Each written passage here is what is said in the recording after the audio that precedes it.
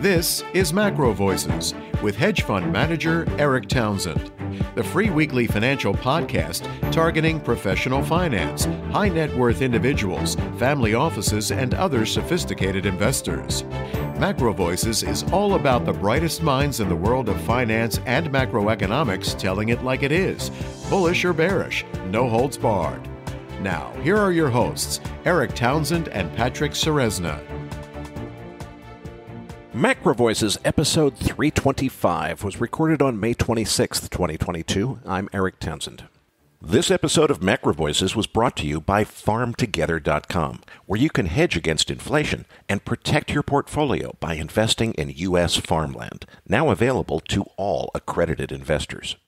Variant Perception's CEO and head of market research, Tian Yang, returns as this week's feature interview guest. We'll go through Variant Perception's latest leading economic indicator research and discuss whether the current equity rout signals an oncoming recession or if it's just a mid cycle pullback. Then be sure to stay tuned for our post game segment when I'll give you my analysis of the monkeypox scare and why I'm not overly concerned about it escalating into another pandemic. Then we'll dive into Patrick's chart deck which will be titled What's Next for Markets? And I'm Patrick Ceresna. Erik, let's dive into the S&P 500. I mean, right after last week's uh, show, we had uh, the market basically break down, make a, a uh, fresh new intraday low, but didn't close at a lower low. And really, uh, we uh, have spent so far most of the week uh, crawling higher, and suddenly we're back above 4,000, heading toward 4,100. We're at 4,062 at the time of recording. what are you thinking here on the S&P? Well, as you said, when we saw that breakdown to a new lower low after last week's show, I was thinking, oh boy, it seems like the uh, the bear market really is on. I think what has changed everything this week is the Fed minutes coming out. Everybody's excited because they think that yesterday's Fed minutes imply that the Fed is going to be done with its hiking cycle after three more 50 basis point hikes. Um, honestly, I think that's reading a fair amount of meaning into those Fed minutes. I'm not sure if all that meaning is really there or not. So for now, the reason I believe that the market is rallying fairly sharply this morning on Thursday is that we do have this expectation that okay, the Fed hiking cycle is going to end in a few more meetings and you know it's all going to be over. I don't think that's the right way to look at this. The Fed is going to respond to inflation. If inflation is still running rampant after those three hikes, then regardless of what this month's minutes said, they're going to continue with their hiking cycle if they need to. On the other hand, if three more hikes really is enough to get inflation completely under control, then sure, I, I guess that would mean that perhaps we've now seen the bottom in this uh, short lived bear market and it's all uphill from here. But frankly, uh, I'm not persuaded that that's the case. So uh, I think that this is for sure fuel for a good, strong bounce. We've been asking for the last few weeks what's the catalyst going to be to get a bear market rally going, even if it's not the real bottom? Well, I think we've got that signal at this point. Is it really the bottom or is is it just a, uh, a vigorous bounce that's not going to last as people realize that they were reading too much into those Fed minutes? Well, I guess we'll find out. Well, let's move on to the dollar index because it was two weeks ago, uh, we, uh, just as we were recording this episode, that the dollar index punched to a higher high above the 104 level and uh, lasted there uh, like literally half a day. And since then, we've been two weeks of the dollar just backfilling and, and pulling back. We're under 102 right now, 101.88 at the time of recording. Is a short term top in uh, the dollar for in your mind? Well, Patrick, you're the technician in the house, so I'd love your feedback on the technical analysis aspects of this. But the way I see it is that was a very important five year high at 104 spot, whatever it was. We got back to, I guess it was actually over it by uh, just a tiny bit, but for all intents and purposes, it was a retest of that high. And now what we're seeing is the market is filling in. We're seeing a little bit of consolidation, which I would think is just a perfectly normal expected expected. You know, they call them resistance levels for a reason. They resist it first before you break through them. So as long as we stay above 99, which was the prior resistance level before we got this move up to 104, I think it's just a pullback. Now, longer term, I think that Luke Gromen's view that the dollar is going to lose hegemony over the global financial system and lose its reserve status is spot on. But I think that's toward the end of this decade, not not right now. I, I want to know what your take is, though, on this pullback pullback in the dollar. I see it as a perfectly normal, healthy uh, hesitation before we eventually move to new higher highs because, you know, we're trying to break through a five year resistance level. That's a big deal. What's your take? Well, Erik, I uh, have to, in principle, agree with you. The thing is, there's zero evidence that this dollar uptrend is over. The only thing that we've seen was a very short term overshoot that is now mean reverting and uh, correcting the typical action that you would see. I think uh, what is going to be really important to me is to see whether or not the dollar index gets bought on dip and whether it can hold above 100, 101 uh, during little pullbacks. If the consolidation uh, stays contained, then a resumption of the bull bull trend uh, later this summer is entirely on the table. It's certainly one of the bigger macro uh, puzzles to solve uh, going into the next few months. Anyway, uh, let's move on to crude oil because uh, I'm looking at this chart and uh, uh, a little breakout today to 114 broke several week highs now and looking like it's ready to go. Is another leg of the bull run starting here in, on crude in your mind? Patrick, let's start with EIA inventory. Now, the headline number for crude oil was a drawdown of a million barrels, which is significant. But what's much more significant is the real number was 7 million barrels, because 6 million barrels was drawn down out of the SPR. That gets reported in a different column. So if you include the Strategic Petroleum Reserve in the equation, the real crude oil drawdown was 7 million barrels this week. A million barrels of that came out of Cushing, Oklahoma. That is, of course, where the futures contract is settled and it's really, really running low on oil, especially as we're just starting to come into high demand season in the summertime. Gasoline drew down a half a million barrels. Distillates building 1.7 million barrels. That was the only build on the board this week. Now, early spring is supposed to be restocking season. And although, frankly, at this point, we're kind of at the end of or past restocking season, we've drawn down gasoline stocks for 16 of the last 17 weeks. So there was no restocking of gasoline. There hasn't been much restocking of crude oil. This week, we had a net drawdown of 5.8 million barrels, including both crude oil and finished products, if you include that SPR drawdown. U.S. production remained flat at 11.9 million barrels. The strong move up today appears to have been catalyzed by OPEC Plus confirming that they're going to stand pat on their production targets. Now, hold on a minute. Targets? Since when does OPEC have production targets? They used to be called production quotas back when OPEC itself had confidence that their members were going to be able to at least hit those quotas if they didn't cheat and exceed them. Now they've started calling them targets instead of quotas. Isn't that interesting? I have been ridiculed, as our listeners know, for saying that OPEC was out of spare capacity. Last week, Prince Abdulaziz bin Salman kind of took my side of that argument argument, but his statements were kind of vague, not too committal. This week, Aramco's CEO made much stronger statements saying that the world is down to about 2% spare capacity and confirming my view that we are out of spare capacity, which could potentially mean a really big move up in prices. Remember that crude oil is a famously price inelastic commodity to demand, which is just a fancy way of saying when the price goes up, it doesn't really cause demand to come off that much. Discretionary leisure travel tends to be affected by higher prices, but most most of the uses of crude oil are uses that have to happen in order to keep the economy going. And as we're seeing a resumption of demand for jet fuel with all of the travel restrictions from the COVID crisis coming out of the equation, that's probably going to be what pushes us to the point where we're not just out of spare capacity, but we're at the point where we just can't produce enough oil. It was easy to see all of this coming, and it's been exacerbated by policy. Most of the market is not pricing in or expecting a U.S. recession.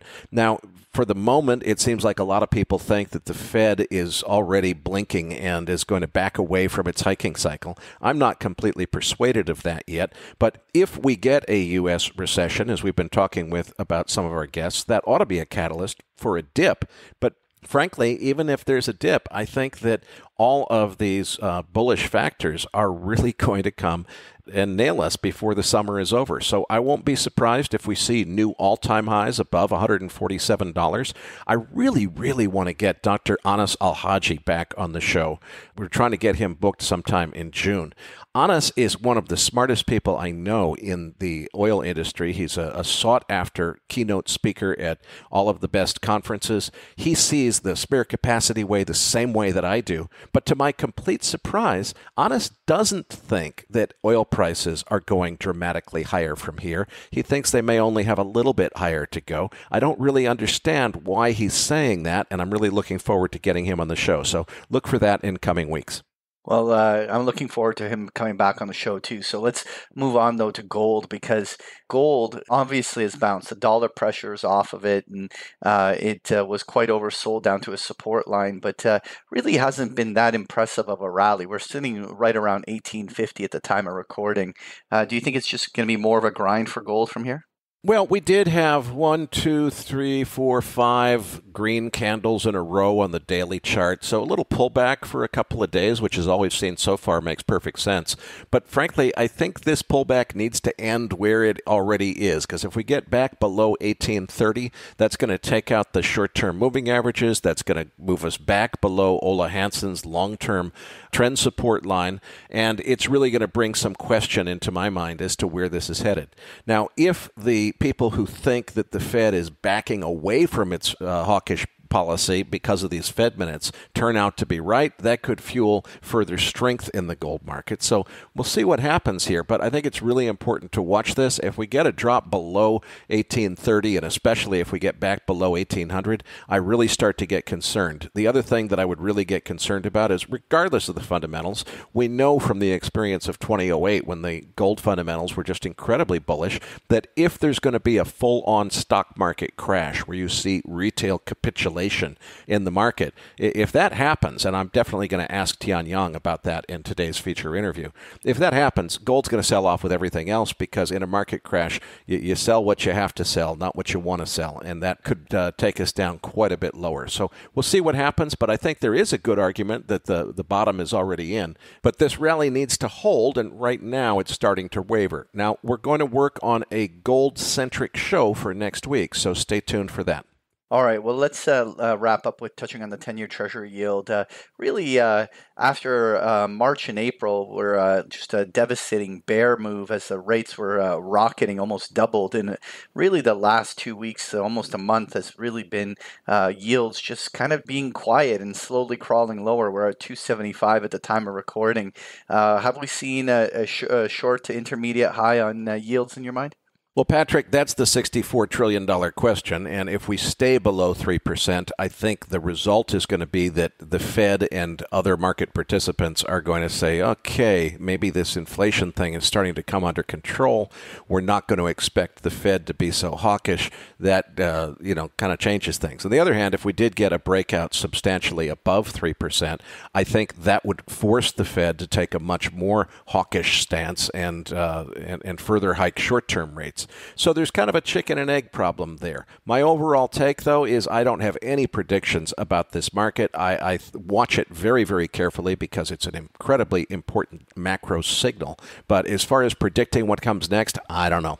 Well, this week's feature interview guest is Variant Perceptions Research Chief Tian Yang. Erik, why did we get Tian back on the show this week?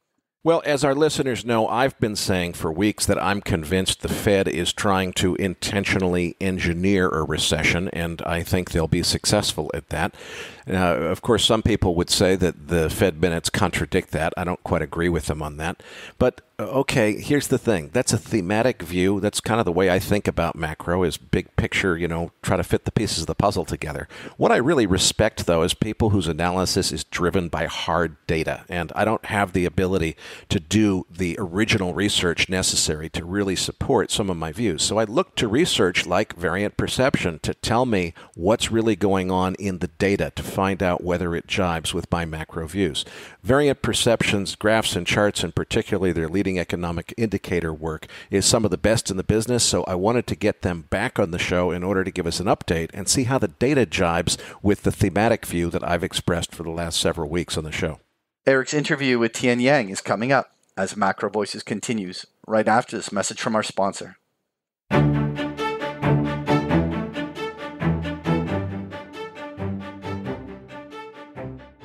With inflation reaching a 40 year high, investors are looking toward real assets to help safeguard their portfolio.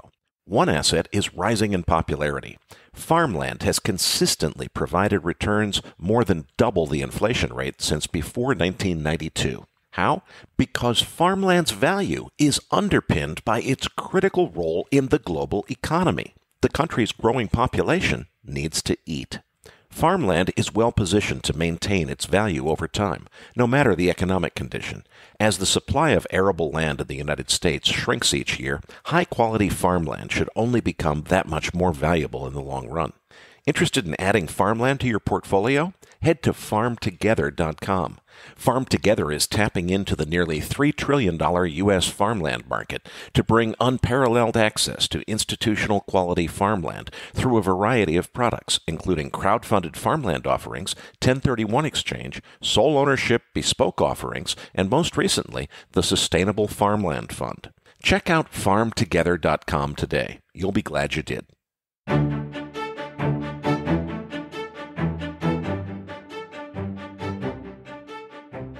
And now, with this week's special guest, here's hedge fund manager Erik Townsend. Joining me now is Variant Perception's Tian Yang. Tian is still head of research, but has also taken over the CEO position. So, congratulations on that, Tian. Yeah, thanks a lot, Erik. Uh, great to be back on Macro Voices.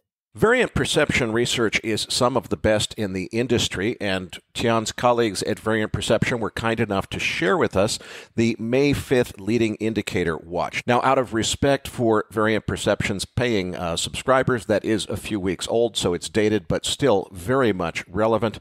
Tian, I really want to dive into this because, you know, my take has been I think the Fed is intentionally trying to engineer a recession, but frankly, I'm not nearly as data driven as I should be. So let's dive into the data.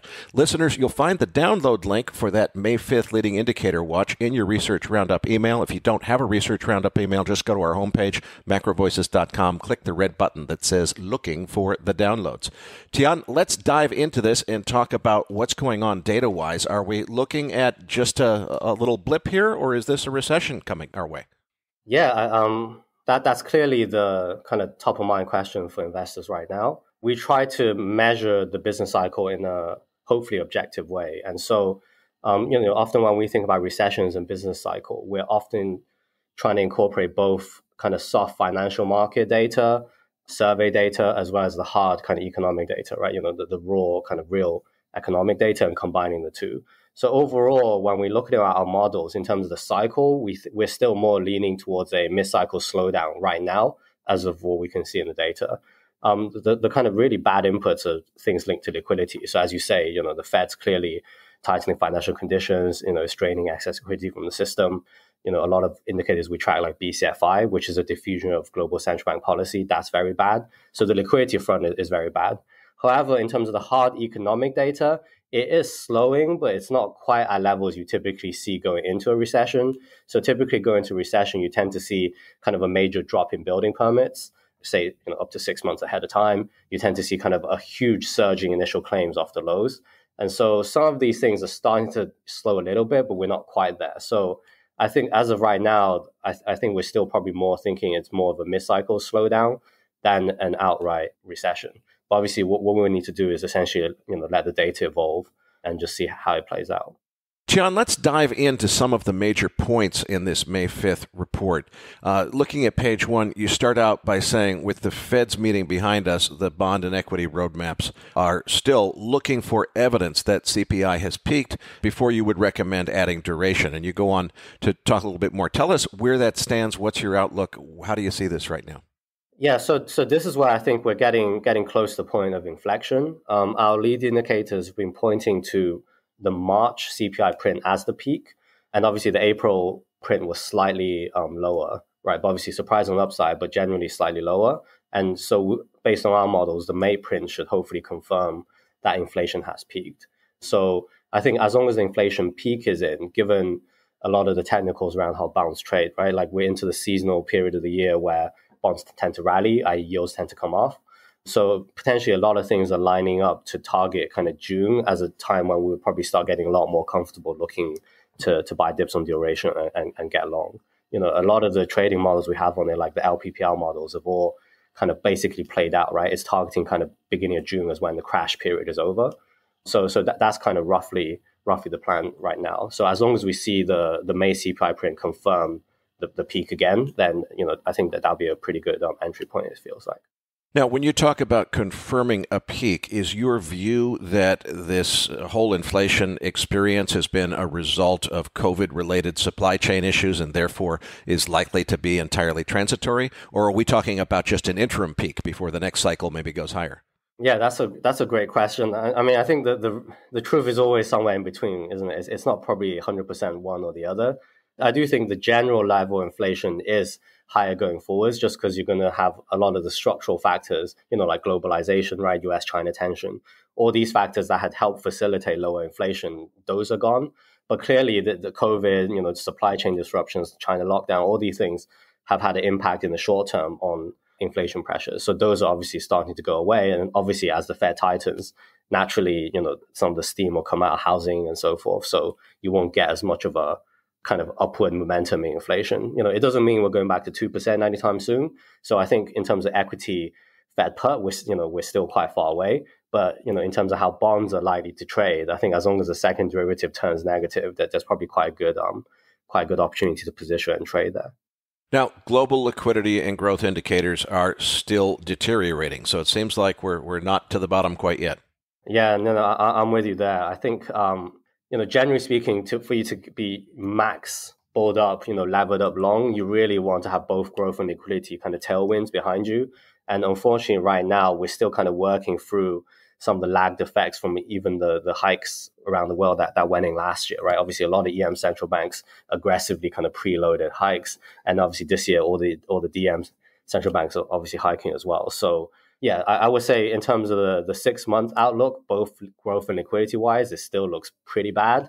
I mean, the, the literally the only good point right now is that our recession model, which is the kind of one zero regime switch model, that hasn't triggered. So you, you know, this is probably a mid-cycle slowdown a la kind of 2012, 2018. It, it you know, obviously we've seen the, the S&P crash. It is ugly, but it probably won't turn into a an 08 style ugly, um, at, at least according to our models right now.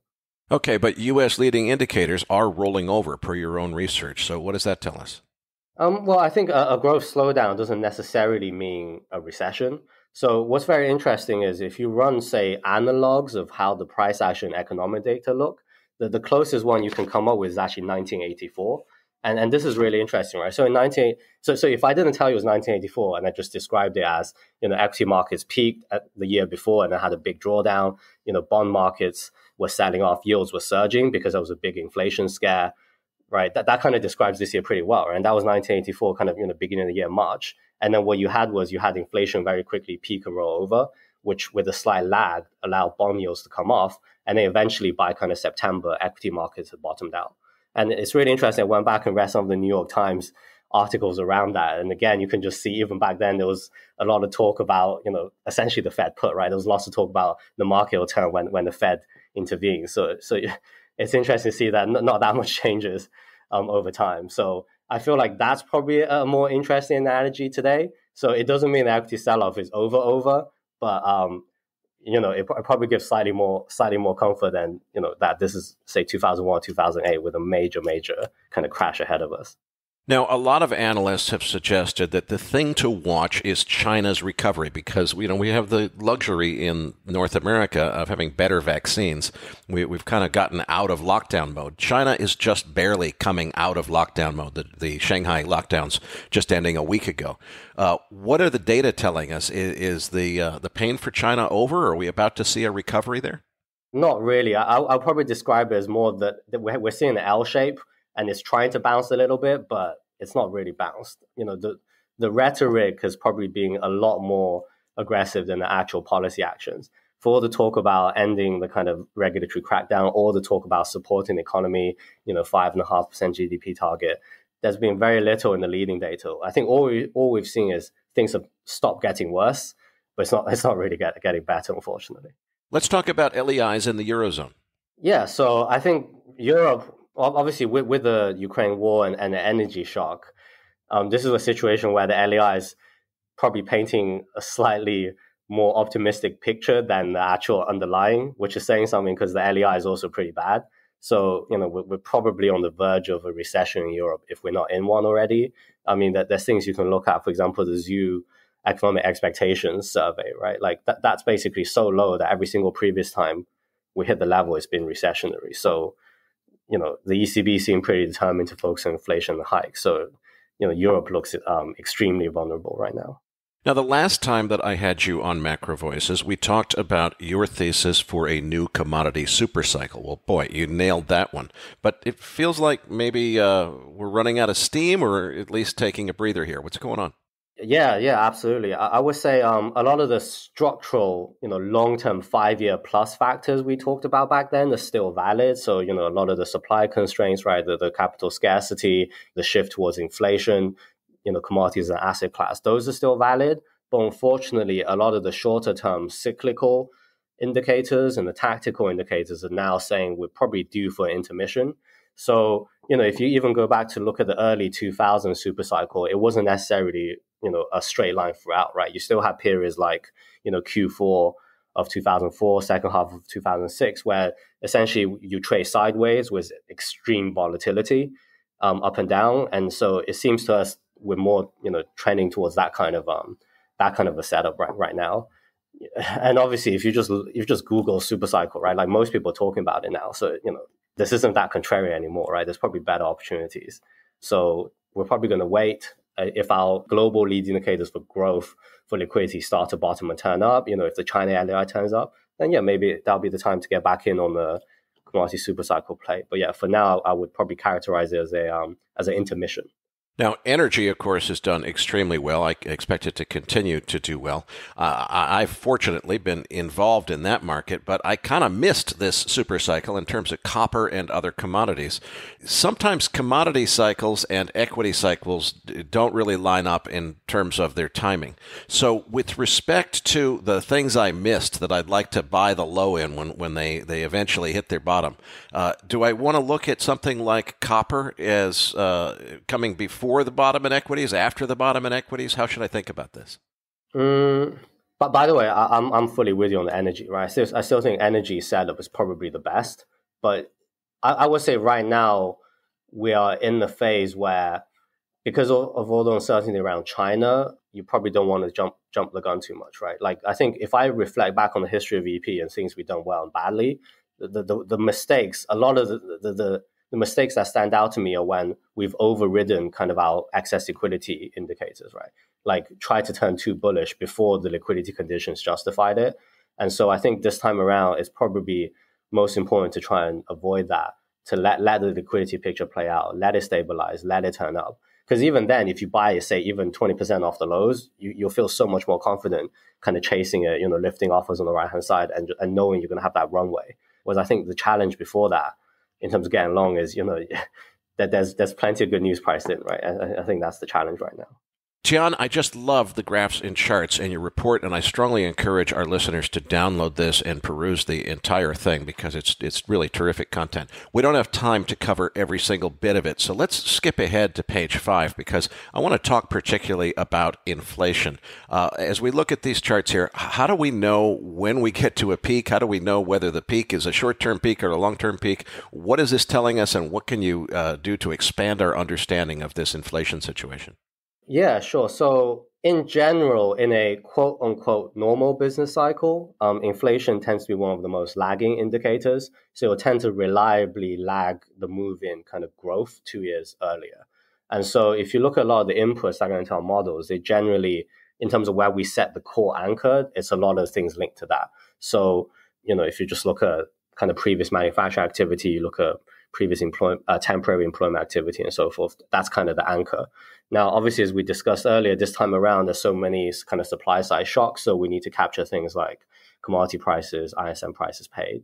And so when, when you put the two together, you, as you can see right now, we're mostly pointing towards a peak, a, a, rolling over, but not necessarily the, the, top price. So this is more like a, a, plateau rather than, you know, you hit the peak of the mountain and, and it's kind of coming off. I, I think the, the one really interesting area right now will be in housing and shelter CPI. Um, you know, this is kind of basically the biggest weight for the U.S. basket, both core and and the headline. And right now, given the surge in mortgage rates and a lot of the housing data has been weakening, and that, that typically has a pretty good, reliable relationship to um, to kind of shelter CPI. I, I, think a lot of the market commentary, people have been quite confused about shelter CPI because it underperformed so much kind of uh, last year and now it's surging higher. But actually, a lot of this is just basically to do with how the data is collected and some of the eviction moratoriums that had been affecting the um, the kind of rent, observed rent, and implied rent component.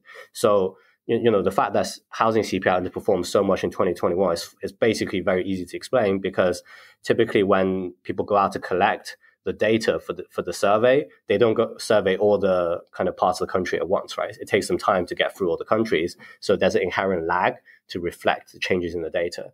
And at the same time, because of the eviction moratoriums, even though asking rents were going higher, a lot of the actual realized rents did not. So you kind of had this undershoot. And now that moratoriums are over, as the collection rates pick up, now you're kind of compensating for it with this overshoot in, in, in inflation. So, you know, this is basically going to come out of the data in the kind of next three well, basically next three months, right? So, you know, as this comes out, then you would think that housing CPI kind of settles in. You know, it's still going to be high, but not at this crazy level.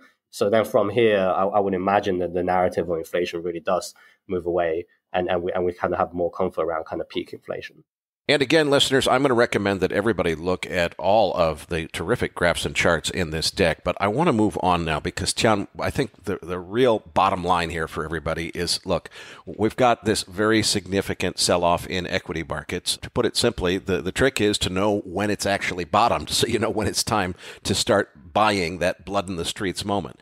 Uh, it sounds like you don't think we're quite there yet, but maybe getting close. So, how do you know? And what's the strategy that listeners can employ in order to manage risk in this environment? Yeah, I mean, I mean that's a that's a great question. You know, like you know the, the old adage, right? They, they you know they say they don't ring a bell at the top or the bottom. But uh, you know, I would like to reframe it a little bit as it might not be one bell, but let's say five bells, and there's and the five bells are basically different aspects of the economy and markets that you can go through almost kind of checklist style and tick off. And so we would probably frame it as essentially, you know, the five of the corporate activity, valuations, economic outlook, how the market is trading, and sentiment, right? That, that's kind of the five big buckets. And you can kind of work your way through each one to get a sense of are you seeing the signs that typically are there at a market bottom? So, for example, let's say corporate activity. Well, obviously, we've seen with the kind of the SPAC IPO boom last year, right? That, or, or, like um, you know, beginning last year, that's over, right? Nowadays, the corporate activity is much more reflective what you would be seeing at market bottom, right? There's no IPO activity, you know, valuations kind of coming off, VC funds are suddenly backing away. So, for example, on the corporate front, you'll be like, okay, we're probably seeing, you know, seeing some signs that needed at market bottom. Here, the missing pieces would be things like actually seeing some major bankruptcies on corporates and seeing some major hedge fund liquidations. And obviously, you know, in the news, we're, we're starting to see more kind of uh, more of these hedge fund type liquidations, right? And maybe we'll see some big high profile corporate bankruptcies or distress as well as, as typically what you see at a, a major kind of market bottom. Um, valuation wise, it's probably more mixed signal. Obviously, some parts of the market are cheaper than others. You know, housing is kind of priced for a really you know full on recession. Um, I would say, but overall valuation is probably like a neutral. In terms of sentiment, yeah, for sure, we're kind of getting towards a pretty pretty bad up environment, right? Like you know, you just have to scan kind of news, talk to people, and like the sentiment is extremely bad right now. So I would say that probably fits. Market wise, maybe we can get into this a little bit later on, but I think yeah, in terms of how the market is trading, I think we're seeing more signs that would would be there at our bottom. But but here, I think it's really important to have have a framework and data. It's it's a bit like that kind of Lenin Lenin quote about how you know there are decades where nothing happens, and then there, there are weeks where decades happens, right? And and I think the problem is during the bear market and the crash, you kind of you're, you're almost forced to shorten your time horizon and really pay attention to kind of what's driving the market tactically in terms of flows and positioning and bull markets and so forth. So so there, I would say is kind of you know half half a tick, right? You're, you're seeing you're seeing things, but not not everything.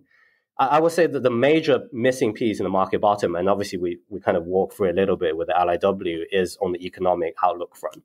Typically, what you see at our bottom is that the economic data, both in terms of hard economic data, has been terrible, and then central banks have been easing for a while. And obviously, we have the kind of exact opposite of that right now, where the economic data is only just kind of you know starting to deteriorate, and central banks are still in you know full hawkish mode. And so I think that that's the real challenge right now. Without that economic confirmation, it's not super obvious what's going to motivate the corporate activity to shift, right? Or what's going to motivate the sentiment to shift. And so without that, you're kind of just left with, you know, the only reason things are going to rally is because everybody gets bearish and there's no more sellers, right? I.e., this means you get, you know, sharp bear market rallies. But just because you get bear market rally doesn't mean it's a sustainable bottom to, to kind of really bet the farm on again. And I think that that's the challenge right now.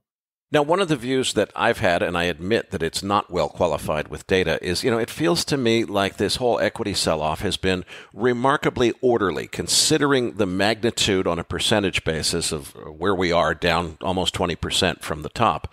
You know, I don't really see many signs of panic. We're, we're trading in a fairly defined, steep, but still well defined downsloping price channel. We're not getting too far away from the short term moving averages. That suggests to me that the retail panic, that capitulation moment, hasn't happened yet uh, at all. Is there any way we can use data to, to quantify that and, and either prove or disprove that idea?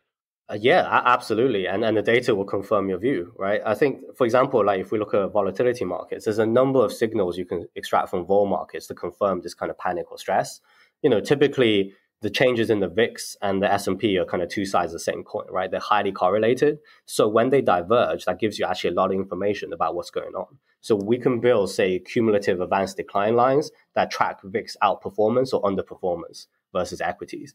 And so typically what you will see at a bottom or in a, in a kind of panicky sell-off is actually VIX outperforms on the way down, right? Because that shows when the market sells off, everybody panics, they bid a volatility, they buy insurance, and then you get that classic war of worry to, to kind of you know squeeze the market. We have the opposite today. The VIX has been underperforming on the whole whole kind of sell off. So you know there's not the kind of option market panic that you would normally see, right? And that's obviously to your point, not the best sign. Um, that, you know, equally you can extract signals by looking at say realized versus implied correlations, and again, you know, it, correlations are up a bit, but they're nowhere near kind of what you would really see a major panic. So yeah, like there, there's a number of things that, that make you think, hmm, maybe we haven't really hit the, the big, big bottom yet. And obviously, anecdotally, the real big concern is that because this is a, a tech-led sell-off, so i.e. the market leader from the previous bull cycle, that, you know, the pain hasn't fully wound its way through. You haven't had the, the kind of cascade selling. You know, there's a lot of talk that in terms of private sector and private market stuff, a lot of valuations on a lot of the tech previous hot areas haven't necessarily been marked down as much as the public.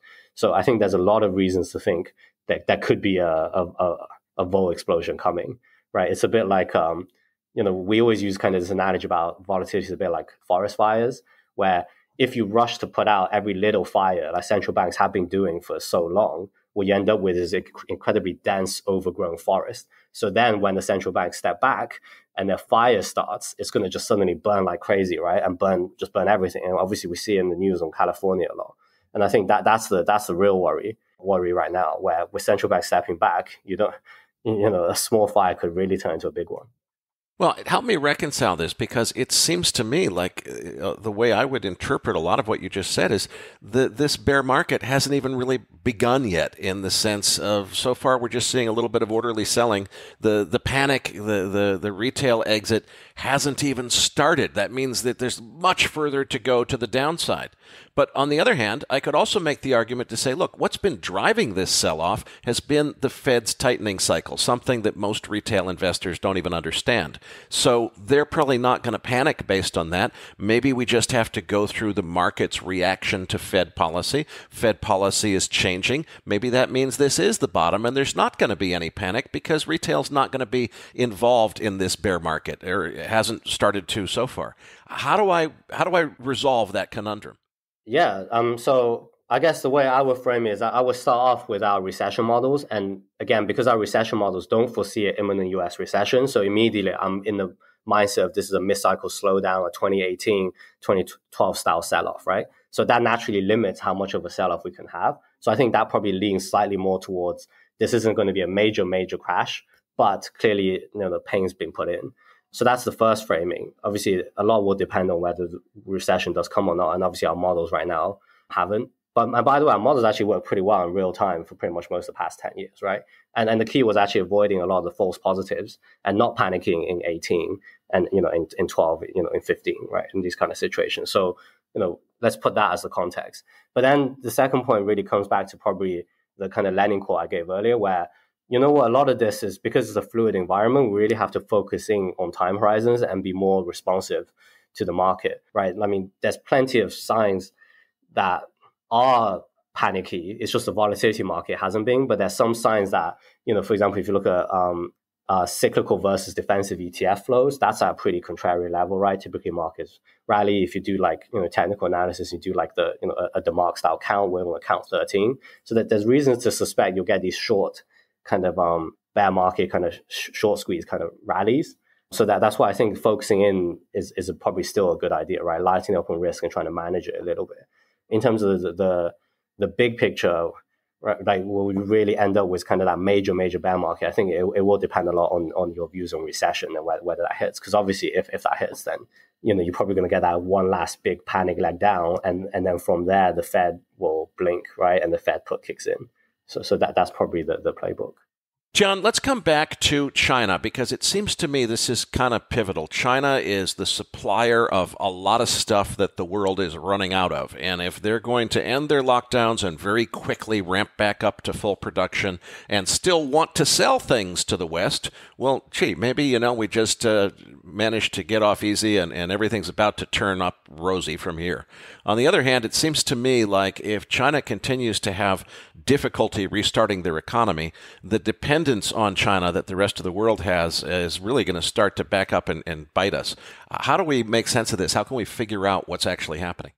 So I, I would frame it as you know zero COVID supremacy, right? That that's still the key in China. Zero COVID remains the top priority policy choice. So that's the context in which to think about other lead indicators, you know, other announcements. And unfortunately, on the zero COVID front, to your earlier point, that that's going to be a problem for you know probably a while longer, right? Like China's domestic mRNA vaccines have not been uh, have not been a, very successful. Obviously, with a country that big with so many people, and given the tensions with the U.S., they're not going to buy U.S. mRNA vaccines. So you know, if they don't have it and they're not willing to buy it, then what are they going to do, right? You know, obviously they're trying to make their own, but it's it's not happening. It's, it's not easy. So I think that that's the problem. I think for listeners, it might be worth appreciating that it does look crazy in terms of what they're doing with just obviously these are genuine like prison style lockdowns, right? Like you know, we're talking about you're being told to keep your keys in your door so people can come around and like disinfect your house, right? And like literally gates going up over your front door. I mean, it's it's, it's dystopian um, from, from kind of where we're sat in, in the West. But the context in which why I think they're so obsessed and so freaked out about it is because in China, you know, it is getting to be a more of an aging population. There's a there's a huge number of kind of older people who have not been vaccinated for one, one reason or another. So if you just apply like even a 0.1 or like in the, in the West, like 0.1, 0.2% death rate, you're going to get a huge absolute number of deaths, right, linked to COVID. And that could potentially destabilize the regime. So I think that might be one angle in which to think about it in terms of why they're doing these things that makes pretty much no economic sense. So yeah, in my mind, it's like when are they going to abandon zero COVID? Well, you need herd, herd immunity. How do you get herd immunity without just killing a bunch of, you know, a, a serious amount of old people? Then you, probably you need to have a good vaccine program.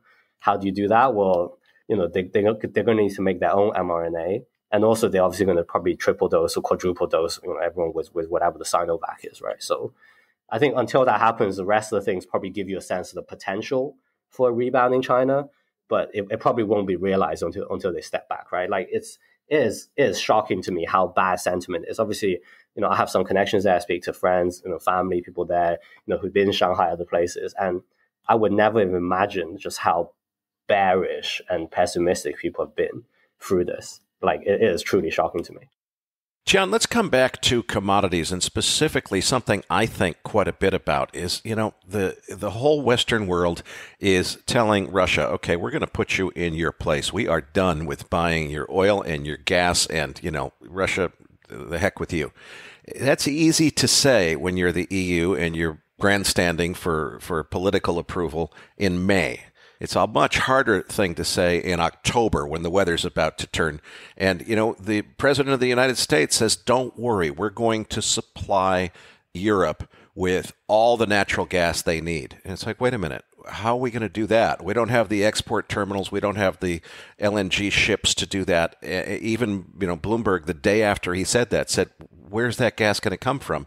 Nobody's answered that question. So it seems to me that the recipe exists for an absolute economic crisis to occur in Europe toward the, the second half as they realize, wait a minute, we, we, we already, you know, basically flipped the bird to Russia and said, we're never buying any more of your gas. And now we don't have a second source and the weather's about to turn cold. What are we going to do?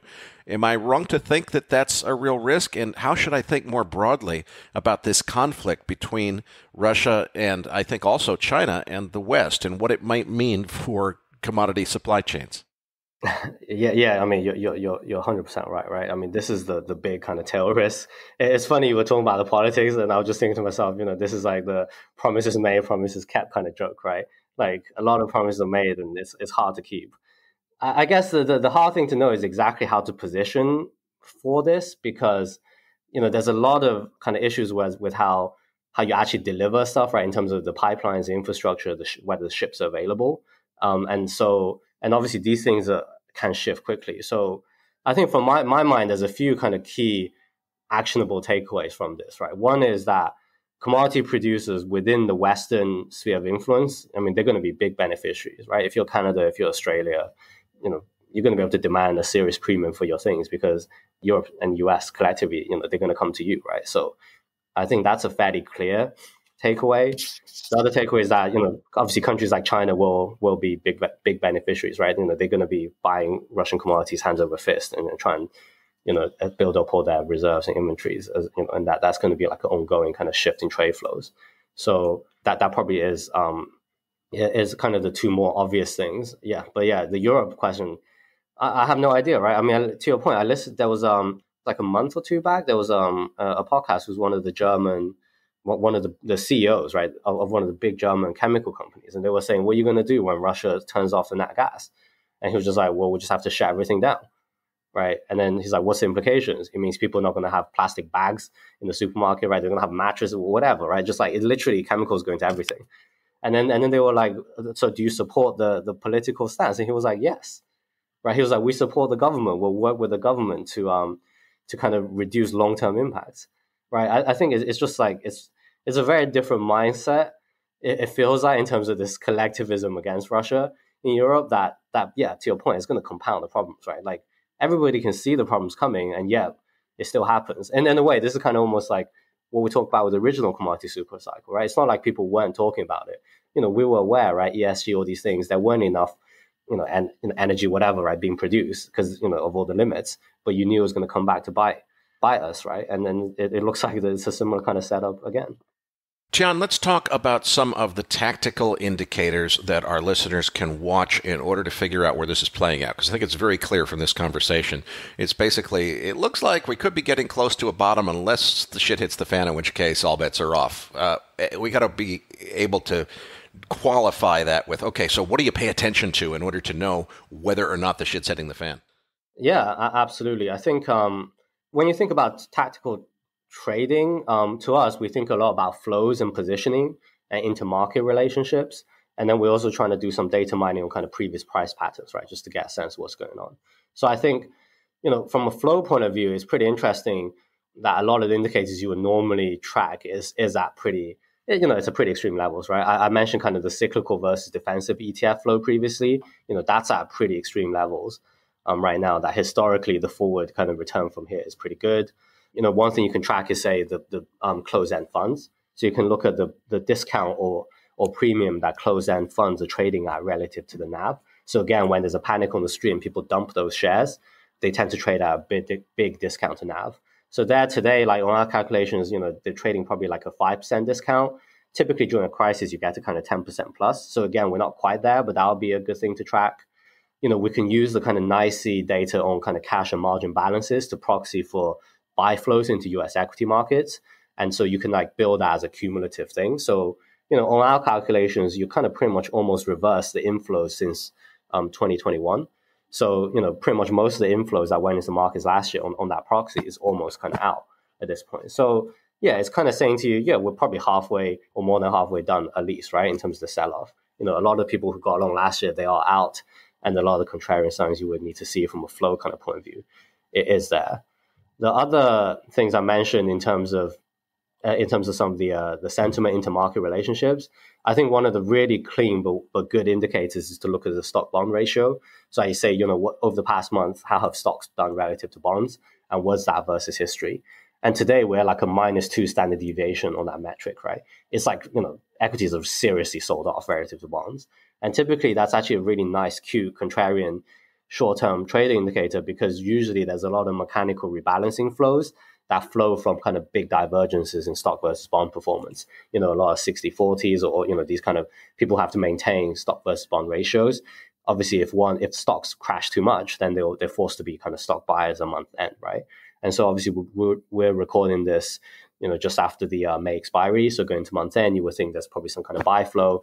And these are kind of things that can potentially set off a short squeeze. Back in March 2020, you know, it was kind of the rebalancing flow that kind of potentially started that that initial squeeze, right?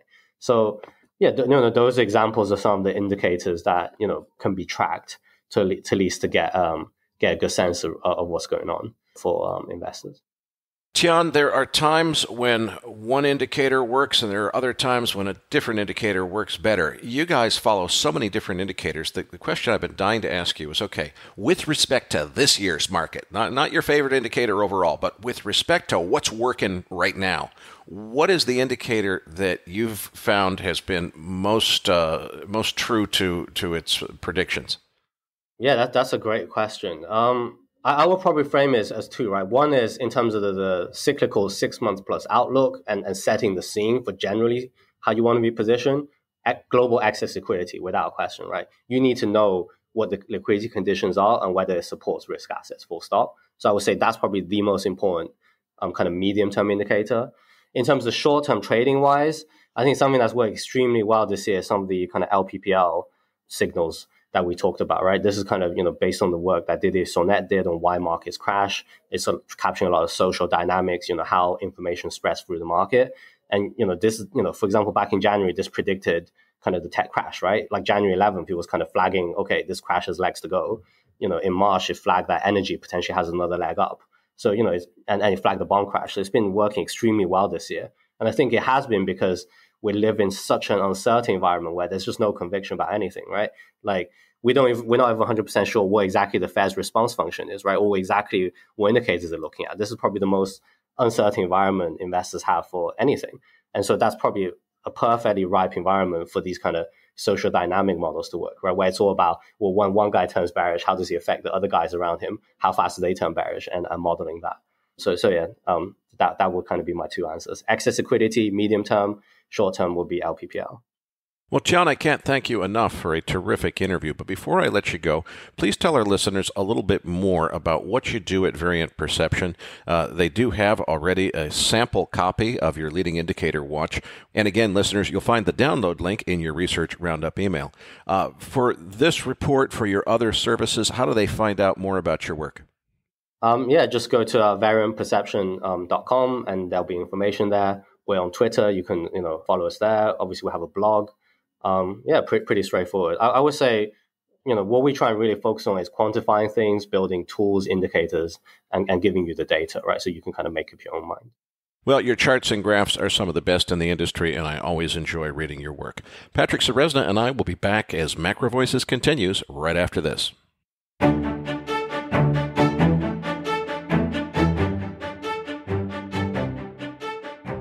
After being completely sold out of advertising space for the last couple of years, we finally have capacity to add a new advertiser.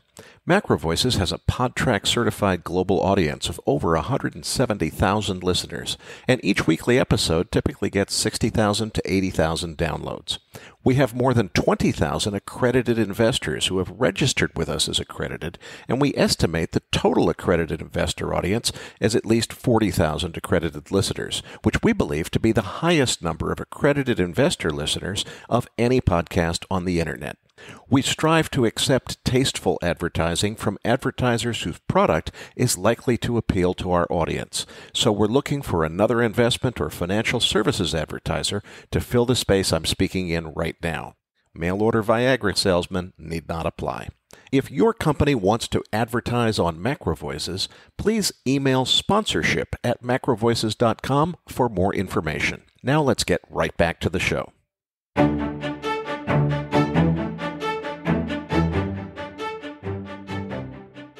Now, back to your hosts, Erik Townsend and Patrick Ceresna. Erik, it was great to have Tian back on the show. You know, uh, I had a feeling all along, in it's nice to see his data supporting this idea that really there isn't a lot of evidence that a recession is a great risk. I mean, it's certainly a possibility, but uh, an economic slowdown is much more realistic. It obviously could always turn into a recession, but right now, uh, just like he was pointing out, the data is not totally supporting that. Uh, what did you take away from the interview? Well, I agree with everything you just said, but with the qualifier that my view has been the Fed is going to need to engineer a recession in order to solve the inflation problem. Now, if it turns out that inflation really was transitory, it was driven by supply chain shocks because of COVID, and we're not really there yet in terms of the secular inflation that I've been expecting for years uh, eventually. I wasn't sure when it would start. Uh, if it turns out we're not really there yet, then absolutely it makes much more sense that this was just a mid cycle slowdown. That's it. The thing is, if inflation is not done and uh, the Fed is is forced to continue fighting inflation, I think they do need a recession in order to fight inflation, and that would change things. But you're absolutely right that we don't know that yet. I'm speculating and um, I'm guessing in terms of that particular outlook. I agree with Tian after looking at his data that right now the data does not say recession is imminent. It says that we've got to slow down. I think it's a question of policy, and the policy is going to be determined by whether or not inflation comes under control or not. Erik. Uh, all along, when uh, COVID was uh, coming along, you were one of the first ones highlighting the risks of a pandemic. And uh, well, here we are now with monkeypox uh, um, being uh, headline news. what's your take on this? And what do you, do you think it's as big of a deal as COVID? Well, the people who are sensationalizing monkeypox right now and saying, oh boy, here we go again, could be another pandemic, are the exact same people that were ridiculing me when I said in January of 2020, when we had Chris Martenson on the show, that it looked to me like we did have a pandemic coming. Now, of course, anything is possible, but at this juncture, I do not see any evidence to suggest that we have a certain or nearly certain or even likely pandemic on our hands. I think what's much more likely is we have a small outbreak that will be easily contained and people are just freaking out because they're afraid the last crisis is an indication of what the next crisis is going to look like. Seems to be the most commonly repeated mistake in all of finance. As far as the monkeypox virus, first of all, it is a DNA virus, not an RNA virus like SARS CoV 2, the virus that causes COVID 19. So, as far as the fears that you see in the media about what if it mutates and there's all these mutations and all these different strains of monkeypox and they could all be coming, those are things that happen with RNA viruses, not with DNA viruses. And if you look at the history of this monkeypox DNA virus, it's been known for a very long time that its R naught is fairly low, probably less than 1.0, which means that we really should not expect to see a problem. Well, how come suddenly there's been an outbreak? Nobody knows for sure, but the most logical hypothesis that I've heard is the combination of two different events. One was a pride festival in the Canary Islands, which was attended by something like 80,000 people. The other was a Belgian fetish festival.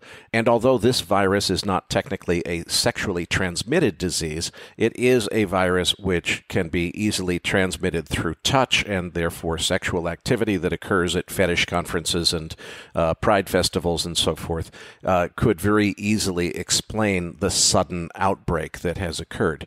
Now, if I look at all of the evidence that I've been able to find on this and kind of bring it all together, what's the bottom line?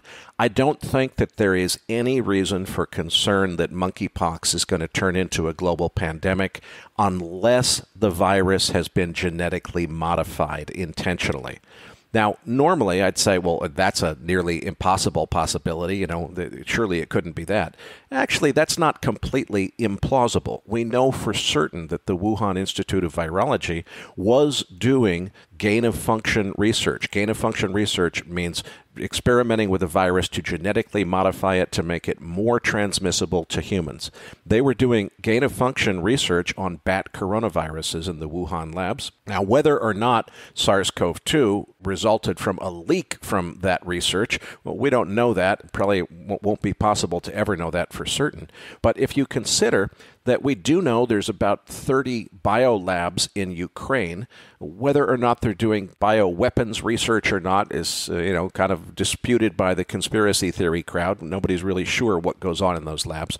But if they had genetically modified monkey virus in order to weaponize it, it would make perfect sense that under the threat of Russian invasion, there could have been uh, either an intentional or accidental leak of some weaponized monkey virus out of one of those laboratories. And if that happened, the people responsible for it would probably not fess up to it. Frankly, I think that's pretty far fetched. I, it is a plausible explanation. So for the conspiracy-minded uh, tinfoil hat wearing community, um, you know that's the the story to go with. Uh, until I see some substantial evidence that that's happening, I think what's going on here is a virus that is not a real threat is being hyped out of proportion and made to sound like a real threat by the same media that was ridiculing myself and Chris Martenson when we said back in January of 2020 that a global pandemic was probably coming. But what I do know with absolute certainty is that this week's postgame chart deck is titled What's Next for the Markets. Listeners, you'll find the download link in your Research Roundup email. If you don't have a Research Roundup email, just go to our homepage, macrovoices.com, look for the red button that says Looking for the Downloads. Patrick, what's next for the markets? Well, uh, let's uh, start on page two with the S&P 500. And uh, one of the key things that I was uh, watching going into uh, this week was whether or not the bulls were able to get the market back above 4,000. It was a fib level of the last sell-off and kind of a simple round number to watch for that sort of descending trend line that connected all of the uh, previous highs during the sell-off. We've been incredibly oversold and overdue for some sort of a bounce. And the fact that the market tried to break to a lower low last week and failed to follow through has uh, potentially now sparked the beginning of some sort of a, a short term mean reverting correction. Uh, by no means am I calling this a major market bottom or the bottom. Uh, in fact, uh, this could be uh, something that echoes a lot, uh, maybe even a weaker version of what we saw in March, which could be one of these three, four hundred 400 S&P point moves the upside, maybe we'll see uh, 4,200, 4,300 on the upside of a of a bounce. But uh, then uh, it'll be a, the real tell as to whether or not that it was just a very oversold little snapback that begins a new round of selling into the summer, or whether a more meaningful bottom is in. But right now, I think that uh, we uh, we're overdue for um, for a bounce, and a couple hundred more S&P points are totally on the table. I agree, Patrick, and I think what will decide whether it's just a bounce and just a couple hundred more S&P points, or if we're looking at a thousand more S&P points, is going to be whether or not this idea that the Fed's hiking cycle is ending after three more hikes really turns out to be supported, or if it's just wishful thinking. I think once we get more indications on what's coming with inflation, we'll know more. Let's take a look at the Euro-U.S. dollar cross on page three. Yeah, and what I wanted to do is focus in on the euro. Uh, and uh, one of the things to highlight is that while the US dollar did break out to a higher high uh, in the last sequence, the euro came down and traded right down to its 2017 low and bounced off of it down there just below uh, the 104 level. And so, really, it was a pretty key technical support bottom uh, where we got the reactionary bounce. But that's again the same story as, as we, we talked about the dollar at the uh, market wrap at the beginning. Obviously, we had a very oversold euro coming to a major support line, typically a reaction off of a support is a, a typical technical event. Uh, now the real question is, uh, do the bulls have uh, more gas in the tank to be able to see the euro work its way, let's say to 108 or 109 on the upside in the in the coming weeks? I think uh, on the short term, the dollar uh, is put in a short term high, and the euro is put in a short term low. But the real question is going to come in the week or two from here, where we see whether or not they have follow through after this little bounce. But moving on, Erik, I wanted to uh, move to uh, page four where we have the crude oil chart. And I specifically uh, uh put on the July contract because when you do the continuous, it shows uh, those highs uh, from the spring that were up in the closer to $130. But when you go to the July contract, it really does look like crude oil is attempting to break out to a fresh high based on this contract. And really, we have seen very healthy accumulation, higher highs and higher lows. Only thing uh, standing in oil's way right now is that previous high. And it's going to be one of the key things to watch. If it does break out, we could really see an acceleration of the oil move to the upside. Maybe uh, at that stage, we could see 120, 125 in, uh, in week. It'll be really interesting to see whether this follow through can uh, happen today and tomorrow. Well, Patrick, as you say, the continuation chart and the contract chart look completely different right now. Normally, we don't even discuss that nuance on macro voices because it's kind of one of those futures traders cocktail party trivia things that nobody really cares that much about because the charts are almost the same. Now, they're not at all the same. If you look at where we are at 114 there, looks like we're almost back to that early March uh, peak again. And we're well above the peak from late March. March. Well, actually, on the continuation chart, we're not even back to the same level as that second peak, the one from late March. So, what's the rule here? If you've got a different story being told to technicians from the contract chart versus the continuation chart, which one do you go by? The answer, as far as I can tell from quite a few years of doing this, is nobody's really sure, and different people do it different ways. And what that means is that in situations like this, the market gets a little bit harder to predict because what is the, the level at which we break out to a new high? According to the contract chart, it's above 116 or so. According to the continuation chart, it's above 130, 131 in there someplace. When we get above both of those, and I think we are going above both of those, that's where you're really going to see the acceleration. But does the acceleration to the upside happen on a breakout above the previous high on the contract chart, or do we not really get it until we get to a new high on the continuation chart? Uh, in my experience, it's really hard to predict those things. Kind of depends on the mood of the market. We'll see what happens.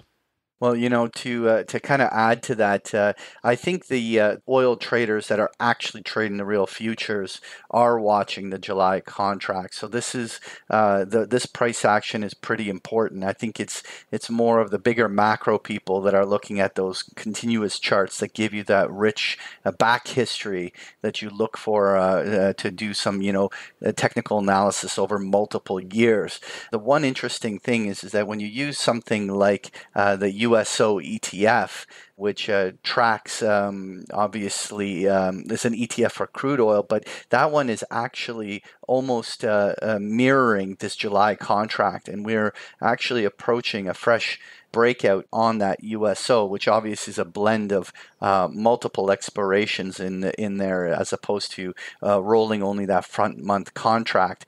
And uh, I think so. A lot of technicians that are are using real trading vehicles are going to see that break to a fresh new high. So I think that is significant. You know, that's a really important insight, Patrick, because the way the USO ETF used to work, it would have been tracking the continuation chart because they used to be almost entirely in the front month contract and they rolled it every month. Now that they've changed and it looks more like this, I think that could surprise a few people because I hadn't thought of that until you just mentioned it. So uh, now that the USO, which is driving a lot of the volume, is potentially going to give us an earlier break signal than it would have previously uh, I agree with you. And I also agree that most traders who uh, actively trade short term are looking at the contract chart, not at the continuation chart. So that further uh, emboldens the prediction that once we get a breakout above 116 spot, whatever it is, uh, on the contract chart, the previous high from early March, that we could see some pretty significant upside. I would say, though, that there are much bigger factors than just technical analysis in play here. If we get another escalation of tension, in the Russia Ukraine situation, that could easily skyrocket us straight up. And if we had a sudden batch of information that caused most market participants to think that a recession really was imminent, well, that could cause a pretty significant dip. So we'll see what happens, but I agree with you that the stage is set for an acceleration to the upside as prices continue from here. Let's move on to page five, where we've got the natural gas contract. This one, you've got the continuous contract. Right. And uh, what I want to highlight here is uh, both uh, gasoline futures and natural gas futures have uh, broken out. And that uh, can only further kind of give support to this idea that oil is capable of, of making that move.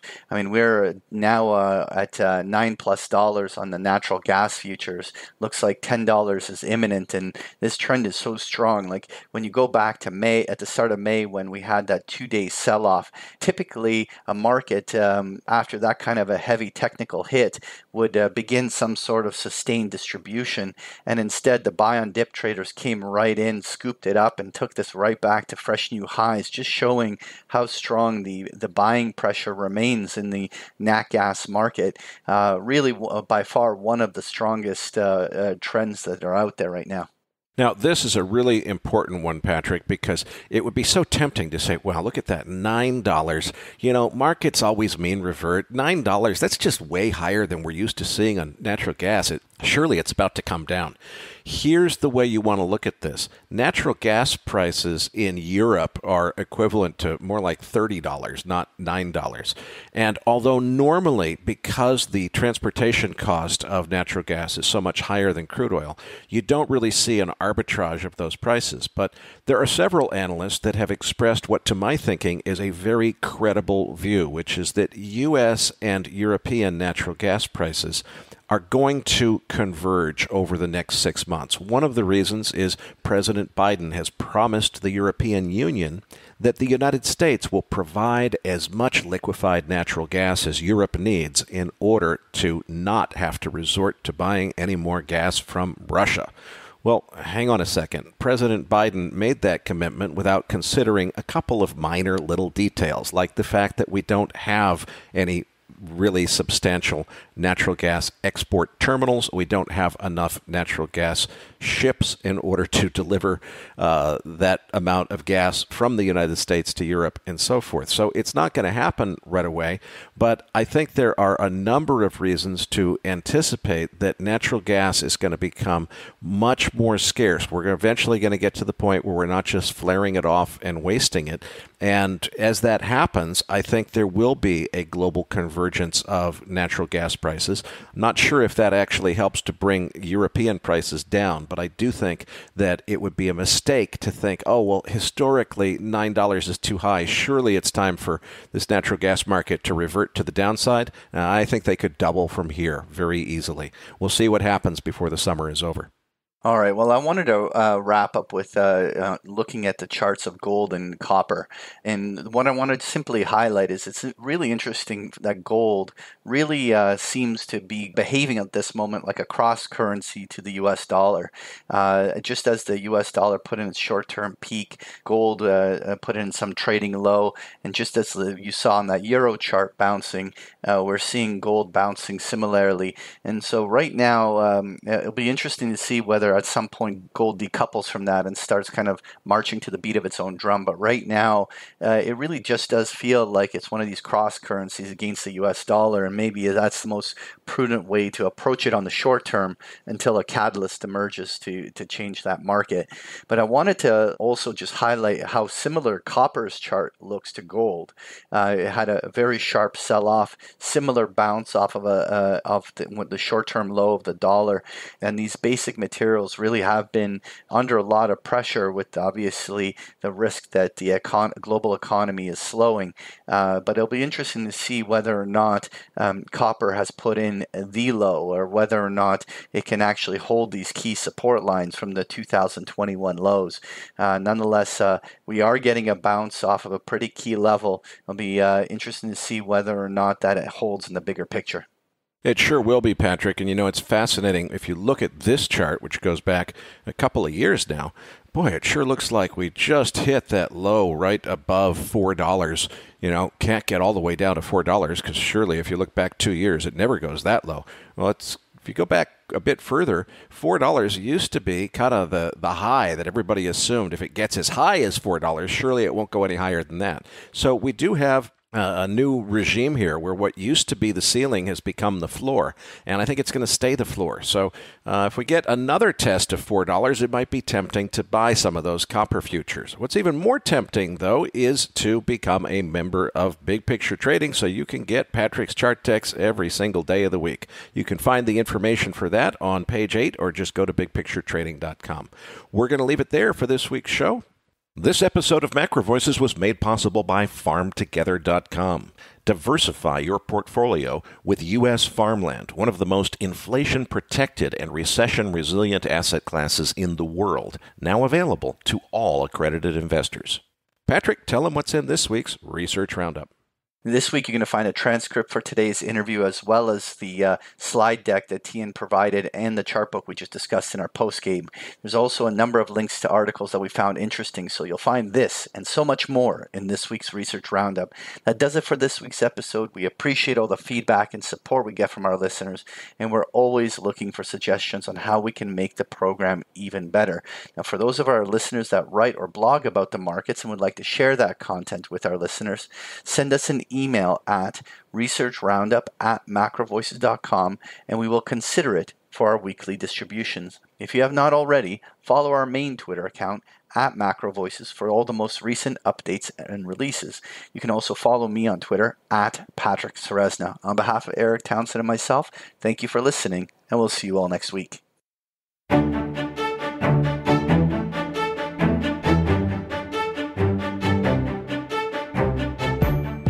That concludes this edition of Macro Voices. Be sure to tune in each week to hear feature interviews with the brightest minds in finance and macroeconomics. Macro Voices is made possible by sponsorship from BigPictureTrading.com, the Internet's premier source of online education for traders. Please visit BigPictureTrading.com for more information. Please register your free account at MacroVoices.com. Once registered, you'll receive our free weekly Research Roundup email containing links to supporting documents from our featured guests and the very best free financial content our volunteer research team could find on the internet each week. You'll also gain access to our free listener discussion forums and research library. And the more registered users we have, the more we'll be able to recruit high profile feature interview guests for future programs. So please register your free account today at macrovoices.com if you haven't already. You can subscribe to Macro Voices on iTunes to have Macro Voices automatically delivered to your mobile device each week free of charge.